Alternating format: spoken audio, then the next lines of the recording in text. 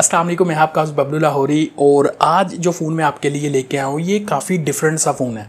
Features भी काफ़ी अच्छे लेके आता है और जो मोस्टली लोग मेरा चैनल फॉलो करते हैं, उनको पता है मेरे चैनल पे ये जो डिफरेंट से फ़ोन है ना, ये हथौड़ा फ़ोन होते हैं मतलब रगिड फ़ोन्स और आज वाला जो रगिड फ़ोन है, ये आता है यूले फ़ोन की तरफ़ से, उनका आर्मर ट्वेंटी डब्ल्यू टी जो लेटेस्ट रेडिट फ़ोन है और काफ़ी अच्छे और कुछ यूनिक फीचर्स भी लेके आता है, जो मैं आपको इस वीडियो में बताने वाला हूँ। देखो वीडियो अच्छी लगे तो इसको लाइक करना और चैनल को सब्सक्राइब करना मत भूलिएगा। तो तीन बॉक्सेज है मेरे पास। सबसे पहले फ़ोन को अनबॉक्स कर लेते हैं। तो फ़ोन के बॉक्स का भी थीम इन्होंने काफ़ी अट्रैक्टिव सा रखा हुआ है। ओपन करते साथ ही एक ब्लैक कलर का फोल्डर है, उसमें देखते हो तो वो कुछ पेपर वर्क है। एक ग्लास प्रोटेक्टर भी अंदर दिया हुआ है, जो अच्छी बात है, और एक स्ट्रैप मिल रहा है मतलब फ़ोन को लटकाने, छिटकाने के लिए। फर्दर हमारे पास फ़ोन है, अभी इसको साइड पे कर देते हैं। बाकी बॉक्स के कंटेंट में दो पेचकस भी रखे हुए हैं भाई इन्होंने। अब इंग्लिश में बोले तो स्क्रू ड्राइवर्स हैं ये, और ये टूल बॉक्स है कि फ़ोन का डब्बा है भाई। तो देखते हैं आगे कहाँ पे काम आते हैं। और ये काली सी डंडी भी है भाई। ये डंडी भी देखते हैं कहाँ पे लगती है। फ़ोन को कुछ यूनिक सी लुक और यूनिक फीचर दे देती है। और एक रेड एक्सेंट वाली टाइप सी टू सी एक अच्छी सी डेटा केबल है। और 33 वाट की पावर ब्रिक भी आपको मिल जाती है फ़ोन में।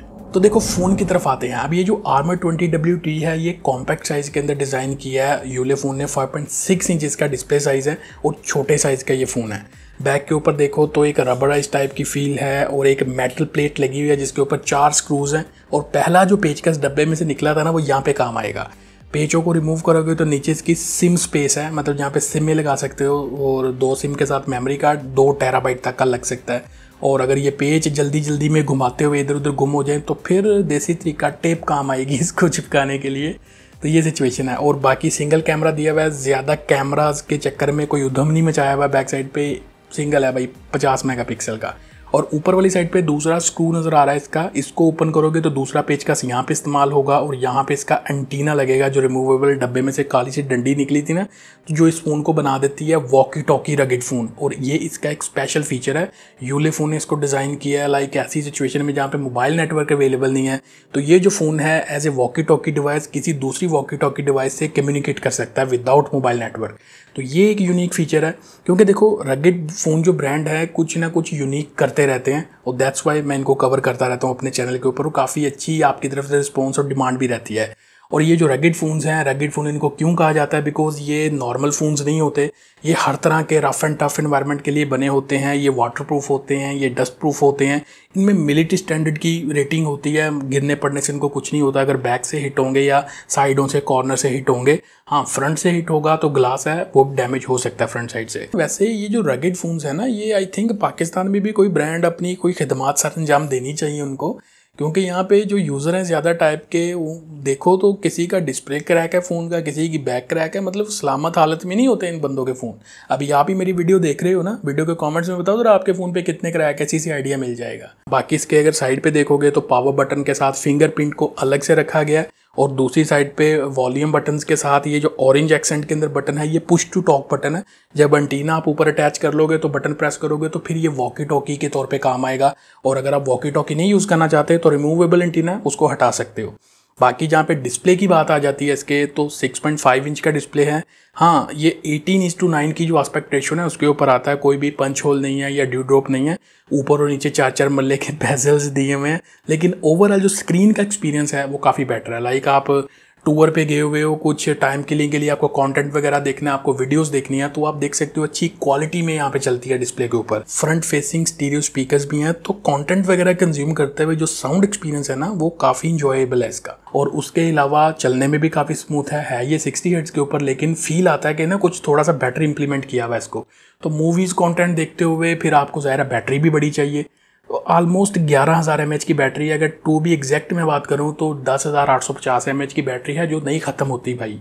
मतलब बैटरी बैकअप तो बहुत ज़बरदस्त किस्म का तीन तीन चार चार दिन ये फ़ोन ऐसे ही निकाल जाता है। और रिवर्स वाइड जो चार्जिंग होती है, उसके ज़रिए आपकी दूसरी जो एक्सेसरीज हैं, उनको भी थोड़ी ऑक्सीजन दे सकता है, अगर कोई फोर्थ होने वाली एक्सेसरी होगी। दस हज़ार आठ सौ पचास एम की मैसिव बैटरी को चार्ज करने के लिए जो चार्जिंग का नंबर है ना, तैतीस वाट वो भी काफ़ी अच्छा है। और जो टेक्नोलॉजी है, वो भी काफ़ी बेटर है चार्जिंग इनकी तो स्पीड से चार्ज होगा फ़ोन तो बाकी उसके अलावा परफॉर्मेंस वाली साइड पे भी ये डिसअपॉइंट नहीं करता, क्योंकि जो रगेड फोन्स ब्रांड है, ये थोड़ा सा परफॉर्मेंस के ऊपर भी अच्छा काम कर रहे हैं। लाइक पहले कोई वीक हार्डवेयर होते थे, लेकिन अभी ये काफ़ी ग्रेजुअली इंप्रूव कर रहे हैं। हीलियो जी नाइनटी का जो चिपसेट है, अच्छी परफॉर्मेंस है।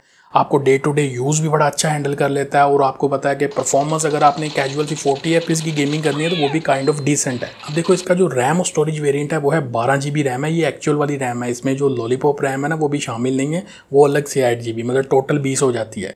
आजकल जो ब्रांड्स हैं, मैंने मोस्टली देखा है, जो लोकल ब्रांड्स हैं, वो एट जमा एट लिख के ना, छोटा सा लॉलीपॉप इंक्लूड करके एक बड़ा सा जो लॉलीपॉप है, सोलह जी होता है, वो मतलब चिपका के मिसलीड कर रहे हैं कस्टमर्स को। तो वो भी देखेंगे जब उनकी बारी आएगी। बहरहाल इसके अंदर बारह जी बी रैम है, जो मल्टीटास्किंग बेहतरीन हैंडल करते हैं और दो सौ छप्पन जी बी स्टोरेज है। और ये स्टोरेज का भी बहुत बड़ा नंबर है, जिसको आप एक्सपैंड भी अगर करना चाहो तो दो टेराबाइट तक का मेमोरी कार्ड लगता है। इसको टेप को उतार के नीचे वाली प्लेट पे। और सॉफ्टवेयर वाली साइड पे आ जाए तो इनकी कोई भी यूआई वाली साइंस नहीं है लड़ाते। एक सिंपल सा यूआई है जिसमें कोई भी ब्लॉटवेयर नहीं है। हाँ जो यूजेबल ऐप है, इनकी जो टूल से रिलेटेड ऐप्स हैं, वो इन्होंने रखी हुई हैं इसके अंदर जिनको आप यूटिलाइज कर सकते हो। सॉफ्टवेयर भी ठीक है कैमरा भी काइंड ऑफ़ जो 50 मेगापिक्सल है, इसके कुछ डे लाइट के सैम्पल्स आपको दिखा देता हूँ। हाँ रगिड फ़ोन की कैटेगरी में जो कैमरा है, इसकी फ़ोटोग्राफी मैं काइंड ऑफ़ डिसेंट रेट करूँगा। वीडियोग्राफिक भी काइंड ऑफ़ एवरेज टाइप की बना लेता है थोड़ी शेकी शेकी सी बनती है। लेकिन हाँ गुजारा कर सकता है। फ्रंट पे 16 मेगापिक्सल की सेल्फी है। कुछ सैंपल्स उसके भी आपको दिखा रहा हूँ स्क्रीन के ऊपर, आप देख सकते हो। तो गुजारा माफिक सेल्फी बिकॉज़ ये फुल फ्लेज कैमरा फ़ोन नहीं होते, लेकिन जिस पर्पज़ के लिए इनके अंदर कैमरा रखे होते हैं, उस पर्पज़ को ये पूरा कर देते हैं। और देखो, जहाँ तक इस फ़ोन की प्राइस है, वो दो सौ सत्तर डॉलर के आसपास है इंटरनेशनल मार्केट के अंदर और पाकिस्तान में बिकॉज़ ये ऑफिशियल आते नहीं है। अगर आप लेके आओगे तो 270 को अगर पी से मल्टीप्लाई करोगे तो एक तो वहाँ पे तबाही पे फिर जाएगी प्राइस की। और दूसरा उसके बाद जो पीटीए टैक्स है वो मैंने पे किया कोई बत्तीस, तैतीस हज़ार रुपये के आसपास। तो ये सारे फैक्टर्स मिला के ना, पाकिस्तानी जो मार्केट है ना, ये आउट ऑफ़ माइंड हुई है भाई। समझ में नहीं आ रही कि कहाँ पे चीज़ें जाके रुकेंगी। और इस फ़ोन के साथ यूले फ़ोन ने कुछ कस्टमाइज्ड एक्सेसरीज भी लिखी हैं जो बिल्कुल ऑप्शनल है। उनकी कॉस्ट अलग से ही ऐड होगी अगर कोई यूज़र उसको लेता है। एक तो आर्मर केस है, वो लगा के, अब ज़ाहिर है इसको केस की तो ज़रूरत नहीं है, लेकिन वो केस लग जाता है। उसके साथ कुछ हुक अटैच हो जाती है, उसकी अपनी कुछ यूजेज़ हैं। और उसके अलावा केस लगाने के बाद आप अगर कोई स्टैंड लेना चाहते हो इस फ़ोन के साथ तो स्टैंड भी मिल जाता है अच्छी क्वालिटी का स्टैंड इन्होंने डिज़ाइन किया हुआ है, जिसकी आर्म को भी आप थोड़ा सा एक्सटेंड कर सकते हो और गाड़ी में यूज़ करना, कहीं पे भी यूज़ करना कर सकते हो। हाँ बस इन दो एक्सेसरीज की जो कॉस्ट है, वो अलग से पड़ती ये थी कहानी सारी आर्मर ट्वेंटी डब्ल्यू टी की। वीडियो के डिस्क्रिप्शन में मैं लिंक रख दूँगा, अगर आप इंटरेस्टेड हो, ज़्यादा डिटेल चेक करना चाहते हो तो उन लिंक्स के थ्रू आप इसको मतलब चेक कर सकते हो। तो वीडियो अच्छी लगी हो तो लाइक शेयर सब्सक्राइब के साथ बेल आइकन दबा लेना। फ्यूचर वीडियोज़ के नोटिफिकेशन आपको मिलते रहेंगे। ये वीडियो ये तक थी। मिलते हैं नेक्स्ट वीडियो में। थैंक्स फॉर वॉचिंग अल्लाह हाफिज़।